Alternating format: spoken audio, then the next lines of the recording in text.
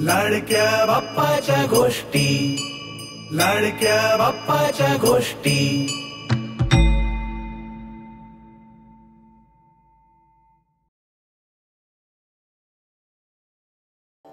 गणपती विद्येची बुद्धीची शक्तीची असा त्रिवेणी संगम आणि गणपती सगळ्यांचं आराध्य दैवत मग तो बाल गणेश असो किंवा तो मोठ्या स्वरूपातला गणेश असो आपल्या सर्वांना तो गणराय मनमोहक वाटतो. आणि गणरायाचं वर्णन ऐकत राहावं असं वाटतं. पण याचं मुख्य कारण गणराय हे अतिशय हजरजबाबी आणि चातुर्यवान होते. आता चातुर्य हा एक असा गुण आहे की जो खुलून दिसतो. आणि बऱ्याच गोष्टी शक्तीपेक्षा बुद्धीनं अधिक सहज उलगडल्या जातात. हा संदेश गणराय आपल्या अनेक कथांतून देतात.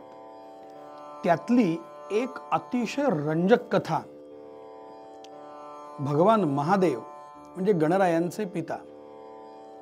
सर्वत्र पूजन केली जाणारी एक देवता. भोलेनाथ देवो के देव अनेक नामांनी ह्या महादेवांचं पूजन लोक करतात. महादेवांचे काही प्रसिद्ध भक्त म्हणजे त्याच्यामध्ये रावणाचं नाव अग्रक्रमानं येतं. रावण म्हणजे दशानन लंकाधीश लंकेचा अधिपती असलेला रावण ऐश्वर्यसंपन्न शूर विद्वान रावणाचे दशग्रंथ मुखोद्गत होते. असा रावण परंतु रावण अहंकारानं नष्ट झाला. नाहीतर विद्वत्ता प्रचूर असणारा हा रावण भोलेनाथांचा निस्सिम भक्त होता. आणि नेहमी दर्शनाकरता तो कैलास पर्वतावर यायचा. रावणाच्या मातेनं सुद्धा भगवान महादेवांची उपासना केली होती. माता कैकसी एक वाळूचं लिंग करायची. आणि रोज ते समुद्रावर त्याचं पूजन करायची. त्याला बेल फुलं हार व्हायची प्रार्थना करायची आणि आपल्या नगरीत परत यायची. असा तिचा नियम होता. माता आपल्या पुत्राच्या शिवभक्तीनं देखील प्रसन्न होती. आणि काही आपल्याला हवं असेल तर ती आपल्या पुत्राकडे मागायची. एक दिवस तिनं आपल्या पुत्राला सांगितलं रावणा तू कैलास पर्वतावर जेव्हा जाशील तेव्हा मला भगवान महादेवांचं आत्मलिंग मागून आण. रावणाला मातेचा आदेश मिळायचाच अवकाश. मातृभक्त असणारा रावण त्वरित निघाला कैलास पर्वतावर येऊन पोहोचला. त्यानं भगवान महादेवांचं पूजन केलं नमन केलं स्तवन केलं. ओम नम शिवाय ओम नम शिवाय. भगवान महादेव त्याच्या त्या निस्सिम भक्तीनं प्रसन्न तर होतेच आणि आता तर अधिक त्याच्यावरती प्रसन्न होऊन त्याला वर माग म्हणाले. काय हवं ते माग? तुझ्या या निस्सिम भक्तीनं मी प्रसन्न आहे. रावण म्हणतो देवाधिदेवा एक गोष्ट मागितली तर मला द्याल का? मला माझ्या मातेकरता आत्मलिंग आपण द्या. भगवान महादेवांनी स्वतःचं आत्मलिंग म्हणजे स्वतःचं स्वरूप त्याला दिलं. अतिशय प्रसन्न झाल्यामुळे भोलेनाथ कधी कधी अशा गोष्टी द्यायचे की ज्यामुळे देवदेवतांमध्ये हाहाकार माजायचा. भोलेनाथांनी हे आत्मलिंग त्या रावणाला दिलं ही बातमी बघता बघता चहूकडे पसरली. रावणच तो आत्मलिंग घेतलं आणि निघाला. भोलेनाथाने त्याला मात्र एक अट घातली. रावणा हे आत्मलिंग आहे. याला जमिनीवर ठेवता येणार नाही. कोणत्याही कारणानं हे जमिनीवर ठेवलंस तर ते तिथून निघणार नाही. जमिनीला चिकटून राहील. रावणानं ही अट मान्य केली आणि रावण निघाला. बघता बघता मजल दर मजल कलत रावण हा आपल्या नगरीच्या नजीब येऊन पोहोचण्याकरता काही अवकाश होता. आपल्या नगरीच्या जवळ येऊन पोहोचण्याकरता काही अवकाश होता. रावणाच्या लक्षात आलं आपली संध्याकाळची संध्या राहिली आणि आपलं मुखमार्जन आणि शारीरिक काही विधी बाकी आहेत. हे करण्याकरता तो आता वाट बघतोय.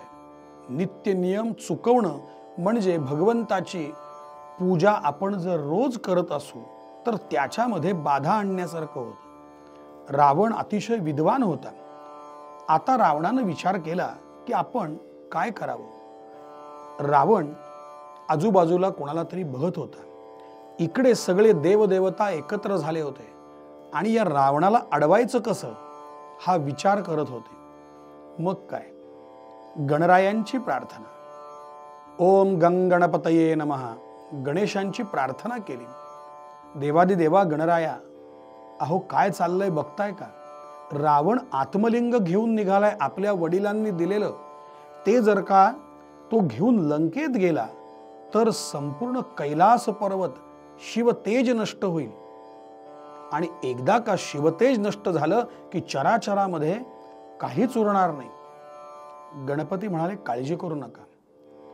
रावण ज्या रस्त्यानं चाललेला त्या रस्त्याने गणराय निघाले हातामध्ये काठी घेतली छानसं धोतर अडकवलं आणि त्याच्या मागून ते निघाले. गुराख्याचं सुंदर रूप घेतलेला तो मुलगा रावणाना दिसला. रावणाने त्याला बघितलं आणि हाक मारली. अरे कोण तू? काय करतोयस? तो म्हणला मी गुरं चारायला इथे आलोय. आपलं काही काम आहे का? हो म्हणाले. मला संध्या करायची आहे. माझे शरीर धर्म संध्याकाळचे उरकायचे आहेत. याकरता हे शिवलिंग मला खाली ठेवायला लागणार आहे. तू काही वेळ धरून उभा राहतोस का? त्याला तेच हवं होतं. शिवलिंग हातात कधी मिळतं याची तू वाटच पाहत होता.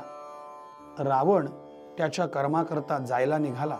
मुलगा सांगतोय पण लक्षात ठेवा शिवलिंग हे मी काही क्षण धरीन आणि ज्या वेळेला मला जायचं असेल त्यावेळेला मी आपल्याला तीन हका मारीन.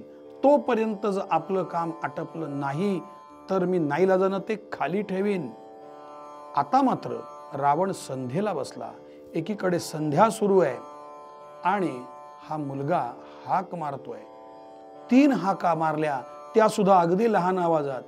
त्यांना ऐकायलाही गेल्या नाही. बघता बघता शिवलिंग ठेवलं आणि तो निघून गेला. तो गुराख्याच्या स्वरूपात आलेला गणराय अदृश्य झाला. रावण येऊन बघतात तर शिवलिंग खाली ठेवलेलं. रावणानं ते काढायचा जोर लावून प्रयत्न केला. ते करता करता त्याच्या त्या शिवलिंगाचा आकार गायीच्या कानासारखा झाला आणि ते गोकर्णरूपी शिवलिंग तिथे आज कर्नाटक राज्यामध्ये स्थित आहे. तिथे रावणानं विभीषणानं आणि कुंभकर्णानं सुद्धा तसंच माता कैकसीनं सुद्धा तपश्चर्या केल्याचे दाखले आहेत. असं हे प्रसिद्ध शिवलिंग त्या ठिकाणी स्थापित झालं. हे केवळ गणपतीच्या चातुर्यानं म्हणून काही वेळा शक्तीपेक्षा बुद्धीनं सुद्धा आणि चातुर्यानं सुद्धा कामं होऊ शकतात हा उत्तम असा संदेश गणरायांनी आपल्याला घालून दिला. ओम गणानांत्वा गणपतीं हवामहे कविं कवीनामुपमश्रवस्तमं ज्येष्ठराजं ब्रह्मणां ब्रह्मणस्पत आन शृण्वन् नोतिभिः सीदसादनं मङ्गलमूर्ति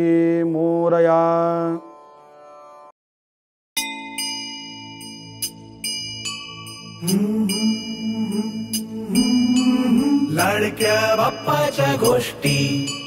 लाडक्या बाप्पाच्या गोष्टी.